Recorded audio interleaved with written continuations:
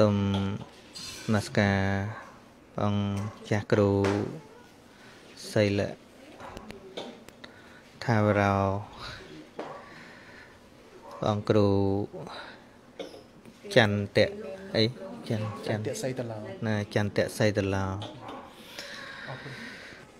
ប្រានពរញាតិញោមពុទ្ធបរិស័ទទាំងអស់បាទហើយយើងបានគោរព នមស្ការព្រះរតនត្រ័យរួចហើយណាថ្មចង់ឲ្យជួយស្ដាប់ដាក់កាសខេឡូវាអត់លើកអីដាក់ដាក់តិចខេឡូអត់លើកស្ដាប់មើលហ្នឹងហើយជួយជួយដាក់កាសរហូតខ្លាចខ្លាចវាដាច់យើងបាននមស្ការប្រតនត្រ័យរួចហើយហើយកិច្ចគារវៈចំពោះ ប្រសង់ក៏បានធ្វើរួចហើយហើយពេលនេះយើងចម្រើនកុសលដោយការស្ដាប់និងការសាកសួរសន្ទនាដូច្នេះអរិយាបទអង្គុយយ៉ាងណាឲ្យស្រួលបងណាហ្នឹងហើយសំពះក៏បានមិនសំពះក៏បានហ្នឹងហើយមិននិយាយរួមទៅត្រូវការនេះសំខាន់ហ្នឹងហើយត្រូវការតិចសំខាន់អឺដូចញោមលើកឡើងអញ្ចឹងបើនិយាយទៀតក៏វាអត់មានអីលើសពីអ្វីដែលញោមបានលើដែរអញ្ចឹងណាហើយអាត្មាគ្រាន់តែមានគំនិតខ្លះខ្លះៗសម្រាប់អឺចែករំលែកព្រោះ ជាធម្មតា យើងនៅជាពធជនអញ្ចឹងដែលថាមិនភ័យមិនព្រួយនោះមិនមានទេហ្នឹងហើយអ្នកណានិយាយថាខ្ញុំលែងខ្លាចឈឺលែងខ្លាចស្លាប់ហ្នឹងអាហ្នឹងក៏មិនពិតដែរណាទោះបីជាអាត្មាក៏ដោយហ្នឹង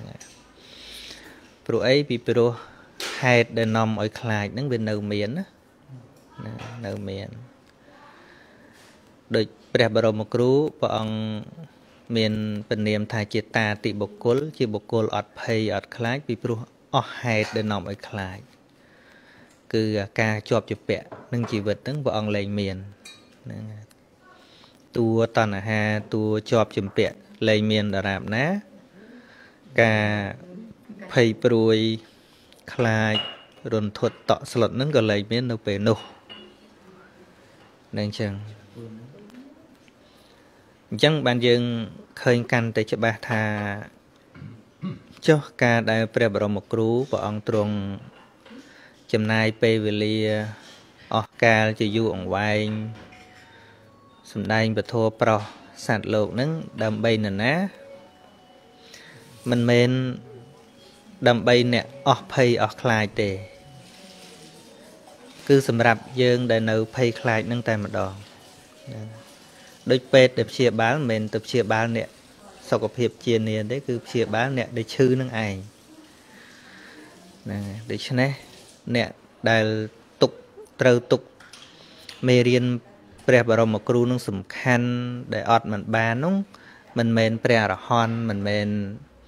អ្នកដែលលែងភ័យលែងព្រួយទេគឺយើងដែលជាអ្នក នៅមានសេចក្តីទុកនឹងតែម្ដងហ្នឹងហើយអញ្ចឹងនៅក្នុងដំណើរដែលយើងអាចអឺ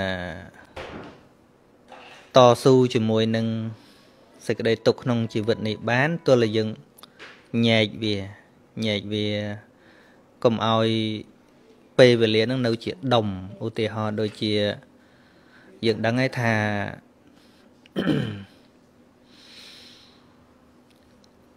ឱកាសនៃសេចក្តីស្លាប់ដែលមកដល់ជីវិតយើងនេះមិនចាំបាច់ដល់ឈឺទេមែនទេគ្រប់គ្នាមិនបាច់ចាំតល់តែឈឺទេហើយក្នុងឱកាសពេលហ្នឹងឱកាសពេលយើងកំពុងអង្គុយស្ដាប់ធម៌ញោមឈឺប៉ុន្តែញោមនៅអង្គុយស្ដាប់ធម៌បានហើយវាមិនមែនថាស្លាប់ភ្លាមភ្លាមឯមើលទឹកមុខទៅនៅស្រស់បោះឡើយហ្នឹង ហ្នឹងហើយព្រោះកណាតាមចិត្តកណាស្ដាប់ដល់សម្ដែងព្រះអង្គមានពុទ្ធកាព្រះអង្គកាត់ពីវិញដល់ផ្នែកត្រូវហើយហើយចេះខំប្រឹងធ្វើតាមព្រះអង្គដែរមិនតែជួយមិនដែរហ្នឹងហើយហើយវាជឿវាជឿទៅចាប់បំផល់វាបាទបាទបាទបានហ្នឹងហើយបាទអឺយើងចែកពេលវេលាដែលយូរហ្នឹងឲ្យមកខ្លីៗវិញ ឧទាហរណ៍ដូចអឺគេរៀនអភិវឌ្ឍខ្លួនឲ្យជោគជ័យអីមួយចឹងមនុស្សខ្លះត្រូវអស់កម្លាំងដោយសារមានអាក្តីសម័យហ្នឹងធំពេកដល់ធំពេកទៅព្រឹកឡើង stress ព្រឹកឡើង stress ចង់បានអីមួយដែលវានៅក្នុងអនាគតដែលដែលវាធំពេកប៉ុន្តែអត់ អត់ចែកវាមកជាបំណែកតូចតូចថាត្រូវធ្វើអីថ្ងៃហ្នឹងជាការពិតមុននឹងសម្រេចអីដ៏ធំមួយ គឺវាត្រូវផ្សំពីរឿងតូចតូចទៅឧទាហរណ៍ដូចជាគេធ្វើយន្តហោះមួយអញ្ចឹងមិនមានពុំបោះពុំយន្តហោះអញ្ចឹងហ្មងឯងអត់ទេអ្នកណាធ្វើស្លាបធ្វើស្លាបទៅអ្នកណាធ្វើអាខ្ចៅតូចតូចក៏ធ្វើទៅប៉ុន្តែបើគេគុំចូលគ្នាហ្នឹងអញ្ចឹង គេដឹងវិធីធ្វើគេអត់ stress គេអត់អង្គុយគិតថាធ្វើម៉េចអញធ្វើយន្តហោះមួយឲ្យកើតហ្នឹងវាអត់មានកំណត់អញ្ចឹងទេអញ្ចឹងមុននឹងទៅកើតអារបស់ធំមួយ គឺគេបែងចែកវា ទៅចំណែកតូចតូចឲ្យបានផ្គុំឡើងវិញពពុទ្ធបរៀនយើងអញ្ចឹងដែរ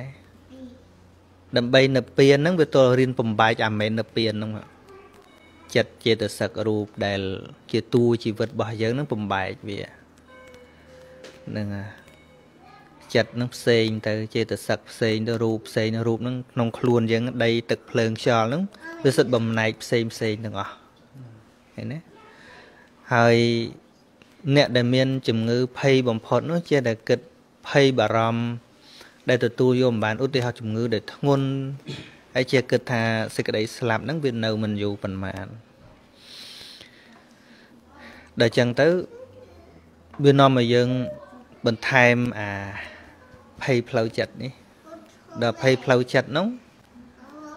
ដោយព្រះអង្គថានាមវាបៀតបៀនរូបដែរដល់ព្រួយផ្លូវចិត្តសម្រាប់អត់លក់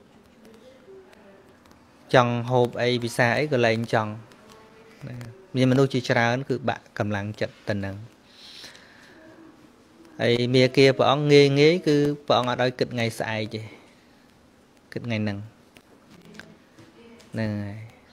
អញ្ចឹងបើរស់បានមួយថ្ងៃនោះគឺត្រូវរស់ឲ្យបានល្អមួយថ្ងៃនោះបើស្អែកនៅរស់ទៀតចាំគិតទៀតហ្នឹងហើយឲ្យគិតគិតម៉ោងហ្នឹងគិតវេលាហ្នឹងហើយបើចូលទៅដល់ការបដិបត្តិធម៌ទៀតគ្រាន់តែ5នាទីក្រោយក៏យើងគិតមិនដល់ដែរមែនទេគឺតលឥឡូវហ្នឹងឥឡូវដូចស្ដាប់អាត្មាអញ្ចឹងកំពុងស្ដាប់អាត្មាហ្នឹងញាតិញោមលឺនៅពាក្យដែលអាត្មាមិនតន់និយាយឬក៏លឺតែអាត្មាកំពុងនិយាយ ពាក្យបន្ទាប់ដឹងអាត្មានឹងនិយាយអី No ឃើញទេអញ្ចឹងបើឥឡូវតែគិតខ្វល់ថាអាត្មានឹងនិយាយអីបន្តិចទៀតអានឹងបង្កើតខ្វល់តែបើបដោតតែទៅលើស្អីដែលកំពុងលឺអត់ខ្វល់ទេឃើញទេហ្នឹងហើយគឺកំពុងឥឡូវហ្នឹងឯងចឹងពាក្យអង់គ្លេសគេប្រើពាក្យហ្នឹងល្អថា present present the past is a history the future is a mystery the present is the gift that's why we call present អតីតកាលគ្រាន់តែជាប្រវត្តិមួយដែលកន្លងទៅអនាគតអាចកំបាំងទាំងអស់ដូចថ្មម៉ោម្សិលមិញអត់ដឹងថាវាកុនយន្តហោះចឹងទេ ណាដល់មកតាមផ្លូវស្ទះឡានអត់ដឹងអត់ដឹងហ្នឹងអត់ដឹងព្រោះចំណាំធម្មតាថាទុង1ម៉ោងអីហ្នឹងមកដល់ពលានទេតែលើកនេះស្ទះយឺតដូចជិះកង់អញ្ចឹងហ្នឹងហើយអញ្ចឹងទៅវាយឺតប៉ុន្តែសិតតែរឿងពិតទាំងអស់ឥឡូវបើបើ traffic ហ្នឹងវាវាអញ្ចឹងទីហោថានៅក្នុងកំឡុងពេលហ្នឹង បើយើងចេះតែបខំថាម៉ោងអញម៉ោងអញម៉ោងអញអញចេះអញចុះអានឹងបន្ថែមអីបន្ថែមតែខ្វល់ទេប៉ុន្តែបើយើងព្រមថាអានឹងវាចឹងឯងអានឹងវាចឹងឯងមិនតែយើងអីគេចឹងដែរហ្នឹងហើយបើជាអ្នកបើកបរទៅទៀត ធុញថប់ជាមួយនឹងអានឹងសផ្លេជាសផ្លេនឹងឆ្លោះគ្នាពេញឡានឆ្លោះគ្នាពេញផ្លូវហ្នឹងហើយដូច្នេះ be in present បាច់ខ្វល់ថាអញរស់ប្រហែលខែទៀតអានឹងអានឹងព្រះអង្គថាប្រមាទថ្មហងៃវាអត់មានអីឈឺចាប់ក្នុងខ្លួនទេប៉ុន្តែតែពេលថ្មចូលសឹងថ្មរៀបចំអីអីជុំវិញខ្លួនអស់ហើយថ្មខ្លាចសឹងអត់ងើបថ្ម be ready ចឹងណា ហ្នឹងពូពូមិនមានពេលអាសឹងអត់ងើបដែរណានៅខ្វះអីអ្នកដេកទៅរឹងបដ ாய் នោះមែនទេហ្នឹងហើយដូចបងចដូនមួយថ្មមួយ បងថ្លៃចដូនមួយហើយគាត់នៅមានកម្លាំងពលាំងធ្លាប់តែព្រឹកឡើងប្រពន្ធដាំបាយឲ្យទៅស្រែដល់ថ្ងៃហ្នឹងឆ្ងល់ប្តីហ្នឹងដេកព្រមក្រោក ដល់ពេលរៀងថ្ងៃរះទៅរុនជើងហ្នឹងគឺដល់ក្បាលរឹងហ្នឹងហើយដូច្នេះអឺនៅក្នុងប្រសូតមួយព្រះអង្គត្រាស់ដែរតាវិខដែលមិនមានសេចក្តីប្រមាទហ្នឹងគឺទល់តែឃើញថាសេចក្តីស្លាប់នេះមិនចាំបាច់មួយម៉ោងក្រោយទេតែលេបពំនូតបាយចូលតែមកក្អឹកនឹងស្លាប់ក៏មានដែរ តែដកទៅហើមចូលហើយវាអត់ចេញមកវិញក៏ស្លាប់ដែរទល់គិតឃើញទៅដល់ចំណុចហ្នឹងបានឈ្មោះថារស់មិនប្រមាទបើគិតថាអញរស់ដល់ថ្ងៃស្អែកហ្នឹងប្រមាទព្រះអង្គថាប្រមាទហ្នឹងហើយក្នុងន័យហ្នឹងអាត្មាប្រមាទដែរហ្នឹងជួនកាលគិតថាស្អែករស់ទៀតទៅប៉ុន្តែយើងអាចស្លាប់បន្តិចទៀតនេះក៏បានដែរមែនទេបានទាំងអស់ដូចប្អូនមួយគាត់អឺ កាលថ្ងៃគេធ្វើខួបឲ្យអាត្មាហ្នឹងនៅ Jail Park គាត់គាត់កើតមកមានអាគេចាស់ចាស់ថាមានសង្វាមានអីនោះណាហើយត្រូវតែសែនប្រេនដល់ស្អីស្អីចឹងទៅបើមិនចឹងទេចេះតែឈឺហើយគាត់ជួបអាត្មាហើយគាត់ថាធ្វើម៉េចទៅបើវាតម្រូវឲ្យតែសែនអញ្ចឹងហើយ អាត្មាសួរគាត់វិញកាលហ្នឹងពេលខ្លីហើយអាត្មាភ្លេចហើយគាត់ទៅមកសារភាពប្រាប់ឯង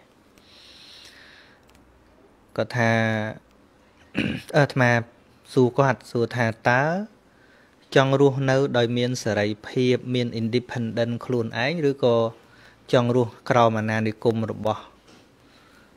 រឿងអមនុស្សឬក៏ខ្មោចព្រាយបិសាចនោះគាត់ថាចង់រស់ដោយមាន ភាពឯករាជ្យអត់រស់ដោយភាពភ័យខ្លាចទេហ្នឹងហើយអញ្ចឹងបានអាត្មាថាបើចង់រស់ដោយមានសេរីភាពអញ្ចឹងត្រូវរៀនពីអ្វីដែលខ្លួនឯងខ្លាចបំផុតរៀនស្គាល់វាឲ្យច្បាស់អញ្ចឹងសួរមកស្អីដែលខ្លាចបំផុតស្លាប់អូខេអមនុស្សឬក៏ខ្មោចព្រាយបិសាចរឿងឆុងរឿងឆាំងអី គ្រោះថ្នាក់យ៉ាងច្រើនស្លាប់មានអីលើហ្នឹងមែនទេឥឡូវបំភ័យយើង ខ្លាចឆុងខ្លាចអីខ្លាចខ្លាចថាវាអញ្ចេះខ្លាចវាអញ្ចោះឥឡូវសួរថាតើវាអន្តរាយស្អីដែលលើសពីស្លាប់ឥឡូវថាខាតលុយខាតកាក់វាមិនមែនដូចស្លាប់ទេអាស្លាប់ធំជាងគេអញ្ចឹងត្រូវនឹកអាណាយើងភ័យជាងគេនោះអញ្ចឹងពីថ្ងៃហ្នឹងទៅអូខេអត់សែនយកថ្ងៃហ្នឹងយកទៅ ប្រាប់អញ្ចឹងយកថ្ងៃហ្នឹងយកទៅយកថ្ងៃណាយកទៅអត់ធ្វើហើយពេលដេកប្រាប់ខ្លួនឯងថាស្លាប់ថ្ងៃហ្នឹងក៏បានដែរប៉ិនដំបងគាត់ភ័យប្រាប់អញ្ចឹងគាត់រៀងភ័យដែរប៉ុន្តែគាត់គាត់ជំនះអាភ័យហ្នឹងគាត់ថាអើបើមួយថ្ងៃហ្នឹងមិនស្លាប់ស្អែកគង់តែស្លាប់ពេលគាត់មានអាអាទំនុកចិត្តរបស់ខ្លួនគាត់អញ្ចឹងគាត់ទៅហេរស់មួយថ្ងៃទៀតហើយវាមានស្លាប់ស្អីវា នឹងយូរយូរយូរគាត់ក៏វត្តចោលលែងសែនអស់បានមកសារពេលគាត់ថាគាត់ឈប់ឈប់គិតរឿងហ្នឹងហ្នឹងអញ្ចឹងស្លាប់ថ្ងៃណាក៏បានគាត់ព្រមអញ្ចឹងថាស្លាប់ថ្ងៃណាក៏បានប៉ុន្តែមិនមែនមិនដេកតន្ទឹងរសេចក្តីស្លាប់ទេណាប៉ុន្តែព្រមថាស្លាប់ថ្ងៃណាក៏បានប៉ុន្តែធៀបពិតវាអញ្ចឹងមែនអ្នកមិនព្រមស្លាប់ក៏ស្លាប់ដែរតែបើយើងព្រមទៅវាធូរមានបាច់ភ័យអីទៀតឃើញទេអញ្ចឹងដូចមានជំងឺអីចឹងដូចញោមមានជំងឺអញ្ចឹងកំពុងនិយាយអញ្ចឹងមានអ្នកកំពុងគ្រោះថ្នាក់ចរាចរណ៍មានអ្នក ចូលពេទ្យពុងចូលពេទ្យអ្នកខ្លះកំពុងដាច់ខ្យល់អ្នកខ្លះនងអ្នកខ្លះកំពុងបាញ់គ្នាស្លាប់ដូចក្មេងមុនឯណា4នាក់ហឹមមិនដឹងរឿងអីពិតប្រកបយើងមិនដឹងទេប៉ុន្តែមើលអាយុទៅ20ជាងអីចឹងដូច្នេះសេចក្តីស្លាប់នេះគឺគ្រប់ពេលវេលាអញ្ចឹងមិនបាច់គិតថាអញត្រូវរស់ដល់ខែក្រោយគឺត្រូវរស់មួយថ្ងៃហ្នឹងធ្វើអីបើថ្ងៃហ្នឹងរស់រៀបចំជីវិតថ្ងៃហ្នឹង ណាស្អែកក្រោកឡើងអូនៅរស់ធ្វើការទៀតប៉ុណ្្នឹងឯងបាទខ្ញុំមានសំណួរអីទៀតទេ